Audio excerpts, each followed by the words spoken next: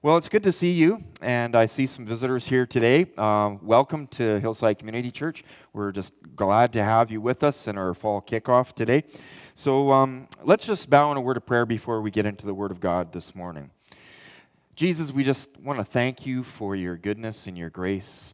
We thank you, God, that you see each person that's here today. You see all of the needs that are here, God, and, and all of the things that are going through everyone's lives, Lord. Um, and God, your word speaks into our lives in a very practical way. So, Lord, as we go through uh, J- the first part of John chapter 9 this morning, God, we pray that you would be glorified in this, God, and that our eyes would be turned to you.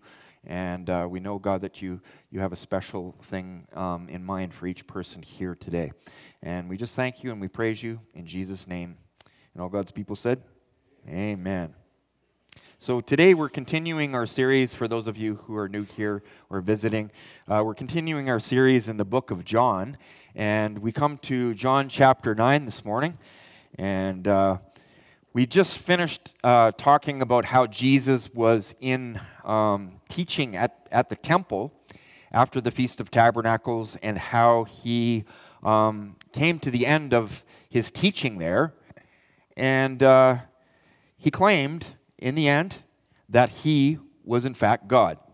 So that created a stir. Um, some people are going, oh, well, he, he is the Messiah. Maybe he's the Messiah. And they were, uh, were uh, really um, interested in that statement. And then there were other religious leaders who thought to themselves, this is blasphemy. How can he claim to be God if he's just a man?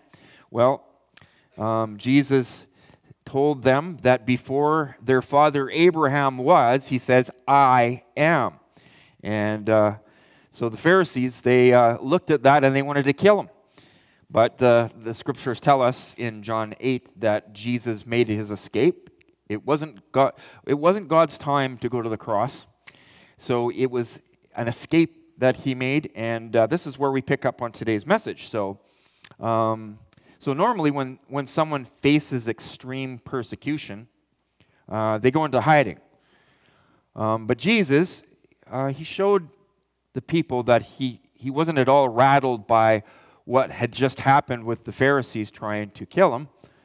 And immediately, he continues his ministry work. So here we are in John chapter 9, starting with verse 1. So we're going to read from verses 1 to 3 to start here. So if you got your Bibles, turn with me, and if you don't, you can follow along on the overhead here. As he went along, he saw a man blind from birth.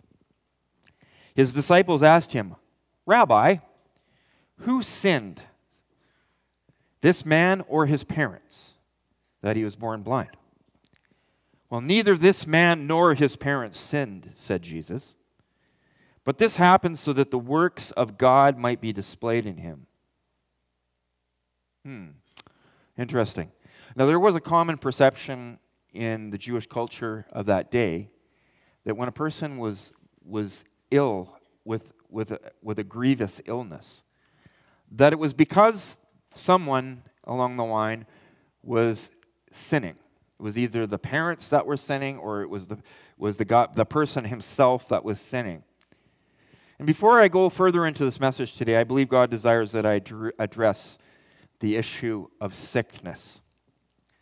So, when I'm referring to sickness, I'm referring to the physical sickness here, the breakdown of health of a human body becoming susceptible to some sort of disease. I mean, we've all been sick at one time or another, and, and we'll probably all face sickness in the coming days.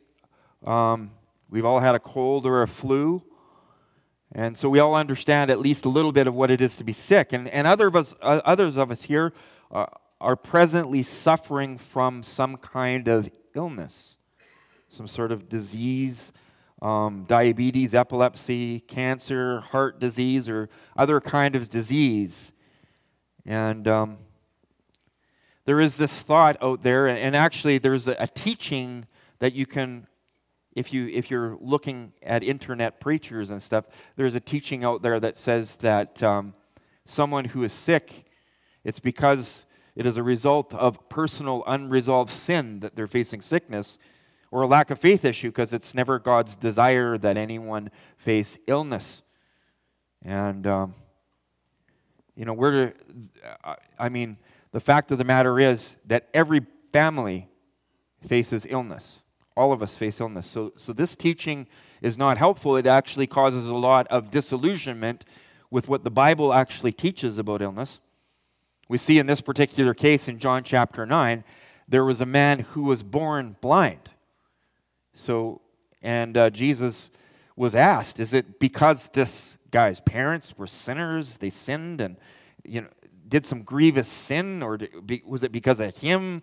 You know, there's something in him that was innately sinful? This is an honest question that they had, and Jesus is like, no, that's not the case at all. There's other reasons. But in certain contexts, talking about sickness, it's true that some sicknesses can be attributed to God's discipline or his judgment on sin. This is true. For example, King David, King David recognized he recognized that his physical health had been adversely affected because of his choices to disobey God. David appealed to God in Psalm chapter 38. We see this in from verses 1 to, to 5. David understood that what he was facing was because of choices that he had made to rebel against God's standards. He said, Lord, do not rebuke me in your anger or discipline me in your wrath. Your arrows have pierced me, and your hand has come down on me. Because of your wrath, there is no health in my body. There is no soundness in my bones because of my sin. My guilt has overwhelmed me like a burden too heavy to bear. My wounds fester and are loathsome because of my sinful folly. So we see David understanding that some of the choices that he made resulted in him becoming physically ill. Or consider what God says in Leviticus to the nation of Israel. This is part of instructions in the law of Moses. He promises them that he's going to bless them physically with abundance and health if they live in obedience to him. But in Leviticus 26 14 to 17, we read, But if you will not listen to me and carry out all these commands, and if you reject my decrees and abhor my laws and fail to carry out all my commands, and so violate my covenant, then I will do this to you. I will bring upon you sudden terror, wasting diseases, and fever that will destroy your sight and sap your strength. You will plant seed in vain because your enemies will eat it.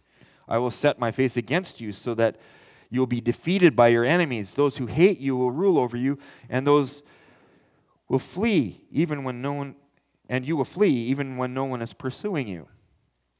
So there is a case here where blatant disregard for God and disobedience to him can result in God using sickness as judgment or, or disciplinary judgment on, on his people. Or consider Jesus. He said to the crippled man that he healed.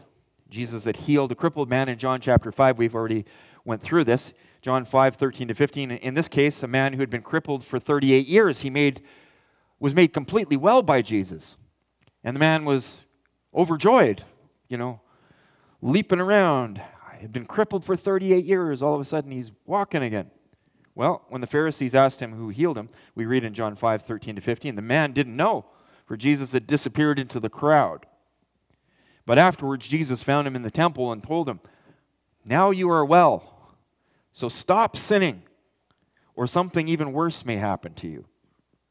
Then the man went and told the Jewish leaders that it was Jesus who had healed him. So the crippled man was practicing something. There was something in his life that was a vice.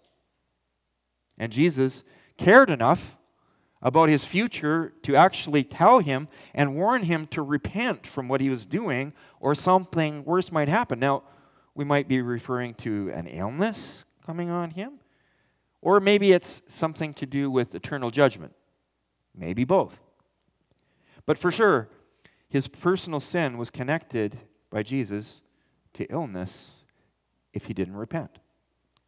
The Apostle Paul speaks of a connection between physical sickness and, and, death, even, in, uh, and personal sin in a Christian context to the church.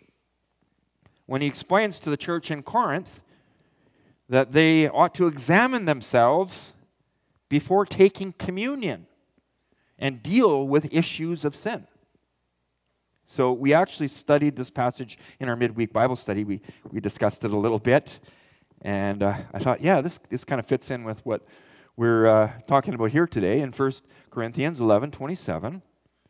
So anyone who eats this bread, talking about the communion bread and the communion cup of the Lord unworthily, is guilty of sinning against the body and blood of the Lord. That is why you should examine yourself before eating and drinking, eating the bread and drinking the cup. For if you eat the bread or drink the cup without honoring the body of Christ, you are eating and drinking God's judgment upon yourself. Notice this is to Christians, right? That is why many of you are weak and sick, and some have even died. But if we would examine ourselves, we would not be judged by God in this way. Yet when we are judged by the Lord, we are being disciplined so that we will not be condemned along with the world. So then, I could go on, there's other examples, but I'm not going to. The, the picture here, it's clear that there are times when our human illnesses are brought on by personal sin. It is true. But that being said, I think it's always wise for us when we're ill to ask the Lord to practice self examination when we're sick. Is there something, God, that I have been doing that's been attributing to this? If so, we repent of that, we turn, and we do what's right. Now, but this is not always the case, is it? There's a lot of illness out there. And in my study of Scripture, I'm convinced that most sickness, in fact, does not arise from personal sin issues. I believe the Scripture cautions us very, very much against making glib connections between the two. We must make no assumptions. Judgmental assumptions can hurt people very deeply, and you can be totally off in left field and wrong. The truth is that all sickness and death is the result of sin's effect in this world. What I mean by that is that the existence of pain and suffering and sorrow and ailments and death is because of the effect of sin in the universe. When sin entered the world in Genesis 3, the world became cursed and corrupted because of it. Therefore, any time any of us has sickness of any kind, it is because we live in a fallen world. We live in a fallen and corrupted world. However, in the case that Jesus presents here to us in our text today, the people assumed that this poor blind man was blind because of some kind of personal sin issue that either he or his parents had, right? But Jesus clears the air. He says in verse 3 of our text, saying, Neither this man nor his parents sinned. Jesus said, said Jesus.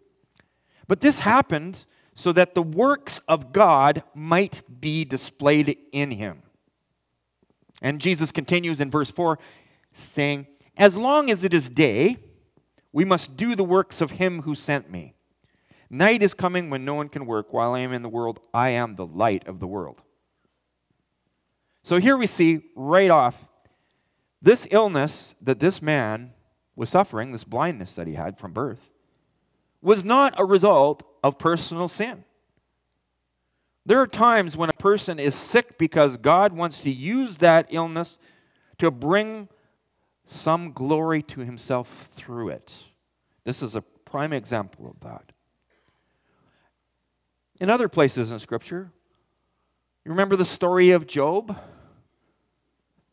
If you, if you haven't read the story of Job, it's a, it's a good read. And it's, it's, it's actually like, whoa, This guy really went through it, man. He went through it. He was not only sick, but calamity uh, struck him.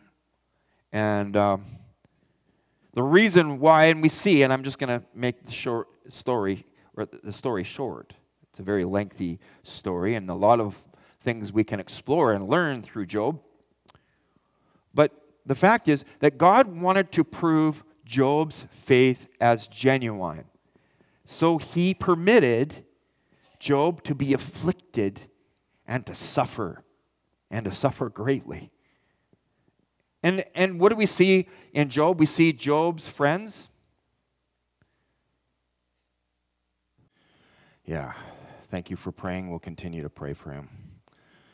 And um, I guess this fits right in line with where we're going with my message today. The, re- the reality is, folks, that um, life is filled with trials.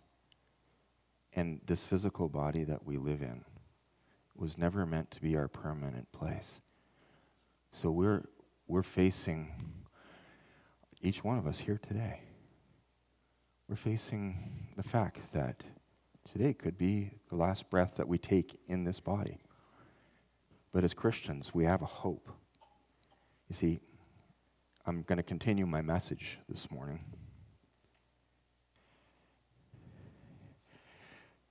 Some illnesses are a result of personal sin, but most aren't. It's because we live in a fallen state, a fallen world. And, you know, we know with with Job, he had miserable comforters. They couldn't get this through their head. They thought, it must have done something. It wasn't the case. Someone, sometimes sickness comes to us because we're growing old and things in our systems start to shut down. Many here identify with the Apostle John when Jesus describes the very kind of death he would have. He, he said, Very truly I tell you in John 21 18. When you were younger, you dressed yourself and went where you wanted, but when you are old, you'll stretch out your hands, and someone else will dress you and lead you where you do not want to go. And it's the apostle, as the apostle Peter puts it this way in 1 Peter chapter 1, 24 and 25. For, and I want you all to listen to this. This happened here today, not outside of the spectrum of God. God had this happened here to get everyone's attention. All people, this is in my notes.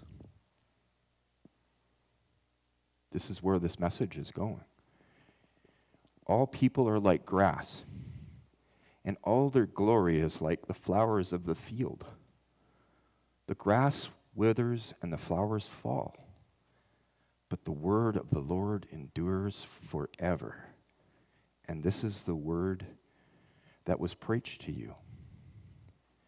Now, each one of us here, unless we face a traumatic event, like a car collision or, you know, maybe someone kills us, all of us are going to find that our body is going to fade due to some kind of illness.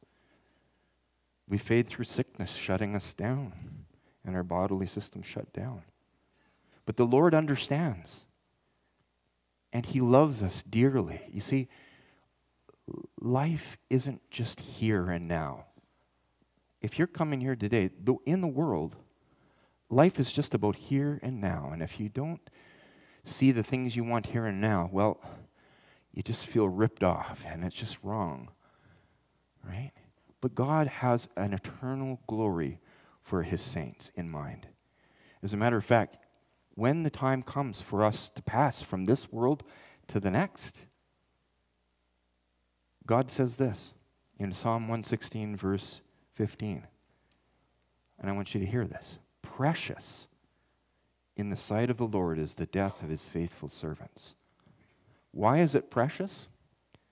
Because despite what you hear out there, your life is a fleeting moment you're like the grass of the field that grows and then withers.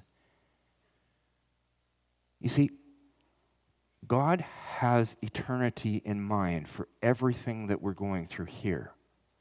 And what Jesus promises in the Word is that if we come to take Him as our Savior and our Lord, okay, when we pass from this physical realm, which all of us eventually will, there is eternal life awaiting us. So don't be afraid. Don't be discouraged. The Lord has a plan, and his plan is eternal. See, in, Paul, in Paul's testimony in 2 Corinthians 4 16 to 18, he says, he says this, and I want you to hear it this morning.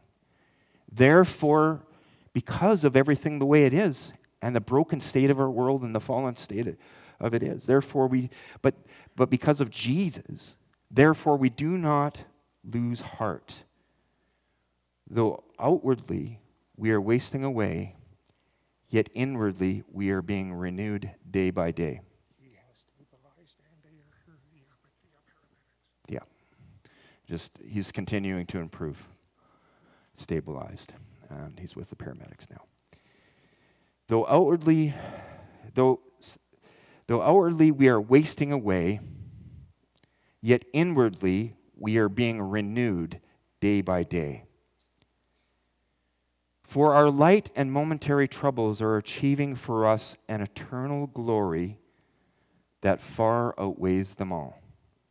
So, no matter what we go through here, for you, if you believe in the Lord Jesus Christ, your Savior, there is an eternal glory that far outweighs absolutely everything we can go through here in the world. And Paul went through an awful lot. But he recognized that for him to live was Christ. It's fruitful time for him to be able to share Christ with the people that God put in his, in his, in his life. But for him to die is actually gain. Because in the end, all of us are going there. 100% of the people in this room are going to face death, unless, of course, the rapture comes. 100% of people in the generation prior have faced death. This is the for sure thing. This planet and everything that's going on it is temporary. So we fix our eyes, it says, Paul says. So we fix our eyes not on what is seen but on what is unseen. Since what is seen is temporary, but it, what is unseen is eternal. Folks, do you, do you see what the Holy Spirit's doing here? This is reality. There's people here that are living their lives out of sync with God. You don't know tomorrow if you've got another day. You know,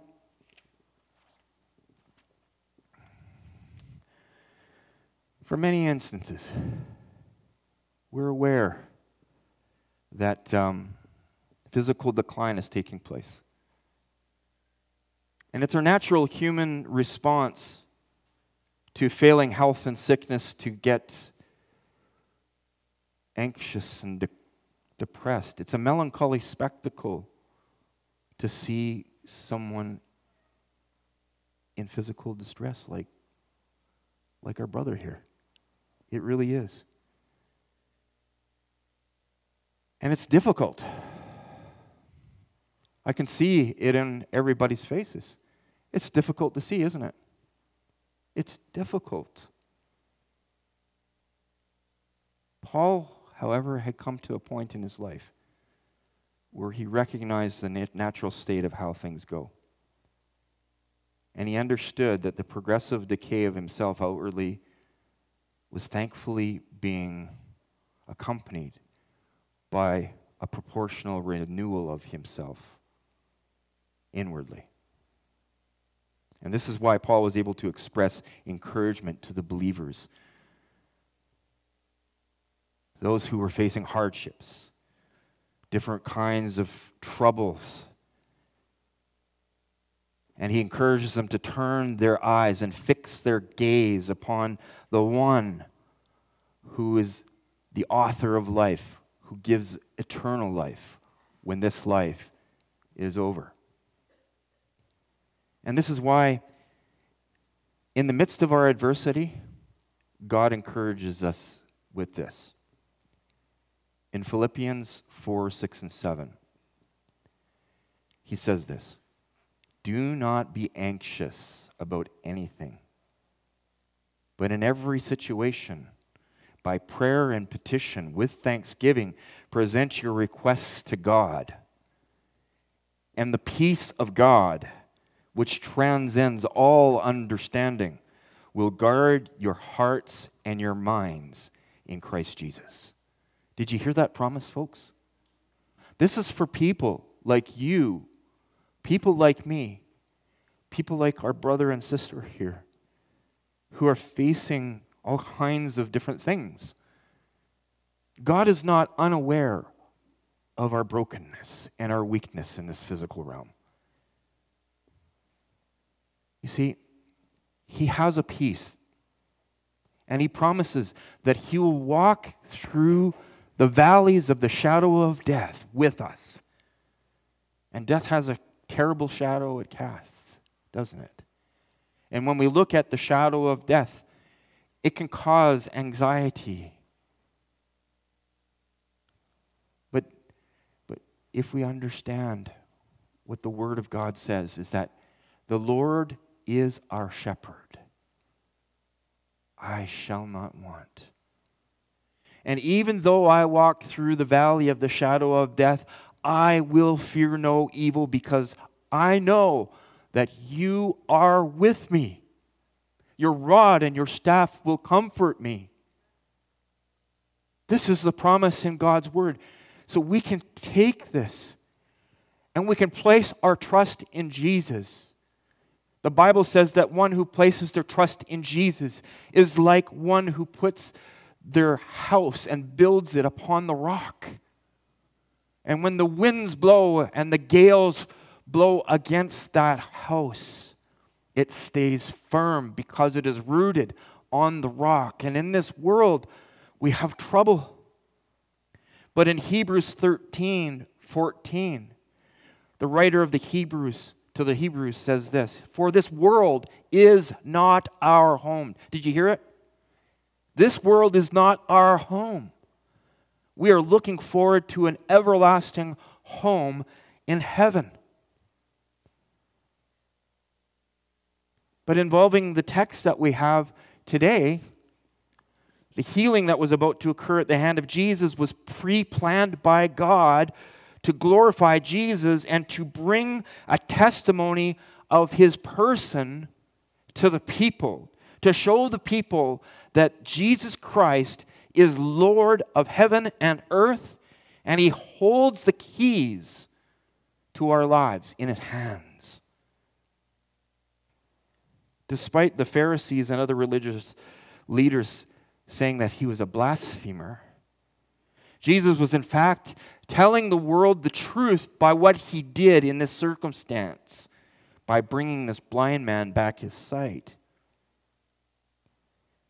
He was, in fact, supporting his statement of truth that I am, I am and that is what God called himself when Moses was sent to Egypt to set the Israelites free from slavery. Who should I say has sent me? said Moses. I am has sent you. That is who you are to say has sent you. I am, because God is, always was, always will be. Jesus Christ says, Before Abraham was, I am. And when you put your hand in the hand of the man who stilled the waters and calmed the sea, you put your hand in the man from the hand of the man from Galilee, you're not putting your hand just in the hand of a man. You're putting your hand in the Messiah, the Son of God, who is Lord of heaven and earth, who created things and set things into motion. He is no ordinary man, but he has the world in his hands. And he understands the beginning from the end and the stories that happen in between. So here the Lord is, and he spits in the mud. After saying this, he spit in the ground and made some mud with saliva, and he put it on the man's eyes. Go, he told him, wash in the pool of Siloam. This word means sent. So the man went and washed and came home seeing. You see, the story here is not so much about the physical healing of this man, as it is a statement to show us who God is in eternity. See, God has the, has the keys to life and death. And yes, this world was subjected to frustration because of the fall. And God, I want you to know this that despite the brokenness and sickness and illness and the things that we see crumbling in our own physical being and around us, we see this happening around us. But I want you to know that God is working a plan for redemption of what is broken. He, redemption means to take and restore to its rightful place. You see, your life and my life amounts to a little pin dot on a line that stretches forever. And that's why Paul is able to say, our light and momentary suffering. It doesn't seem like it when we're going through it, but really, it is very fleeting we don't have very long to live. This week's been tough for me. I have a 91 year old mother in law at home who's really struggling physically. I was up in Prince George on Tuesday having an examination done on my heart because there's a problem with my heart. These are all reminders to us that this is not our home. You see, that, that blind man who was born blind, he, he, he was living in a condition where he thought, is this ever, this night ever going to end? And it's the fact of the matter is that this, this time was going to actually end. He didn't realize it. Can you imagine? All your life you're born without being able to see. You, you'd hear voices, but you'd never be able to even know what a person actually looks like. And all of a sudden, the blinders come off and you can see. Can you imagine how that man must have felt? To see the voices that were speaking to him throughout his life, or people that he knew, or just to even see the trees and the flowers and the, and the, the scene around him. Just imagine how that must have impacted him. All of a sudden, he was brought back into this reality of sight. It must have been like, you know, David when he wrote in Psalm 139, 7 to 13, he said, Where can I go from your spirit? Where can I flee from your presence? If I go up to the heavens, you are there. If I make my bed in the depths, you are there. If I rise on the wings of the dawn, if I settle on the far side of the sea, even there your hand will guide me, your right hand will hold me fast. If I say, Surely the darkness will hide me and the light become night around me, even the darkness will be not dark to you. The night will shine like the day. For darkness is as light to you, for, my, uh, for you created my inmost being. You knit me together in my mother's womb. There is periods of darkness, folks, that we encounter because of the physical reality of the world in which we live. But I want you to know that it's not darkness to God. He, in, in fact, Jesus said, I am the light of the world. I am the light of the world. He knit us together in our mother's womb. So this blinded man went out in healing as a spectacle to all who knew him. And Apostle John writes in verse 8, he says, His neighbors and those who had formerly seen him, seen him begging asked, Isn't this the same man who used to sit and beg? Some claimed he was. Others said, No, it only looks like him. But he insisted, I am the man. How then were your eyes open? They asked. He replied, The man they called Jesus made some mud and put it on my eyes. He told me to go to Siloam and wash. So I went and I washed, and then I could see. Where is this man? They asked. I don't know, he said. Folks, this man didn't even know what hit him. But he knew that Jesus was someone special. And later, we're going to talk about this next week. Jesus revealed to him the true identity of who he was, and this man fell and worshiped. Now, you and I have a mission in this world, and God has a special place for you to fit into the grand scheme of his plan. Whether you realize it or not, God has a plan for you. And you're not going to leave this world until your mission is complete. There's not a day that you can add, there's not a day that you can subtract. God has a mission for you. So while you have the breath in this body, it means fruitful ministry for you to minister to the needs of the people around you that God's placed in your life. And God can use brokenness. He shows it all the time. God uses broken circumstances and broken people. Dan posted a video this week of Nick Vujicic. Does anyone who know, know who Nick Vujicic is? Yeah, this guy here posted a video about Nick Vujicic ministering to people that were broken and how God has, has used him despite the fact that he was born with no arms and no legs and had every reason in the world to look at life as a giant bummer. It's not like he always had this joy of the Lord and his strength. He had to go through the fire. There was times he didn't want to live. But God took that man and used that man and now he speaks to millions of people all over the world. People listen because they know this is a man that has seen the worst things that the physical realm can throw at him. And yet, what has he got? He has a joy, he has a purpose for living, and he inspires people. The Lord blessed him with a family, even. And, and, and, and his joy is just infectious. Or Joni Eareckson, for instance. You guys know the story of Joni Eareckson in 1967. She was diving into, uh, into the water and she misjudged the shallowness of the water. She banged her head and she became a quadriplegic. And the story of Joni is incredible. She learned how to paint with her, with her teeth, with the brush in her teeth.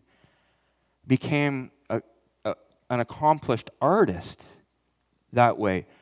I have five or six books down in my office, if you ever want to read them, about her life story of how she's ministering to people and encouraging other people that Jesus Christ is the answer to the world today.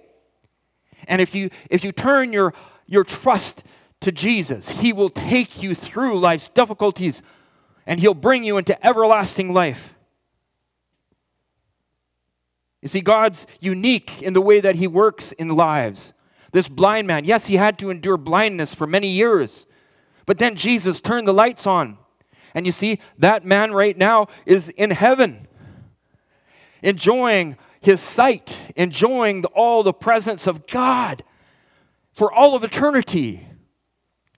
His trouble, as difficult as it would have been for his parents to see their child born blind and to have this whole terrible thing take place, as difficult as it would have been for them to see. This man was redeemed. And this story is a story of redemption and how God has a story of redemption in store for every person who believes in the name of the Lord Jesus Christ, the creator of the heavens and the earth. He is the sacrifice of God who died so that we wouldn't have to die, who took the judgment of God upon himself so that we wouldn't have to. The Bible says, For God so loved the world that he gave his one and only Son, that whoever believes in him should not perish but have everlasting life. This is the whole point of it. Though outwardly we are wasting away, friends, inwardly we can be being renewed day by day, though we face the torment of life's brokenness. God is with us. The Lord says He will never leave us or forsake us. He will be with us to the very end of the age. We don't understand why we have to suffer and why there's pain and brokenness in this world. We don't necessarily understand the overarching plan of God because His wisdom in doing this is beyond us.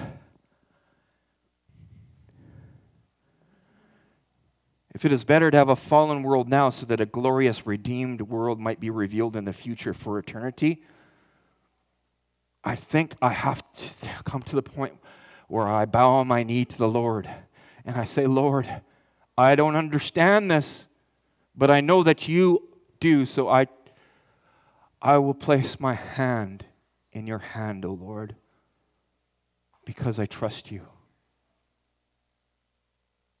God is trustworthy, folks. Nothing escapes his gaze. Romans 11:33 says, "Oh, the depth of the riches of the wisdom and knowledge of God. How unsearchable his judgments and his path beyond tracing out. God did his work through physically healing this man. Sometimes God does his work by taking us home. As a matter of fact, every one of us is going to get taken home.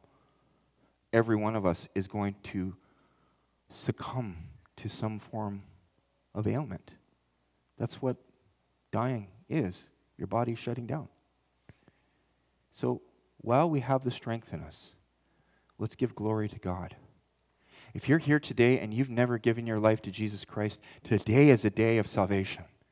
You can come to know Him and the power of who He is and His resurrection you can come to know resurrection power. And it doesn't say that when you become a Christian, all of a sudden everything's going to get easy. As a matter of fact, sometimes it gets even harder.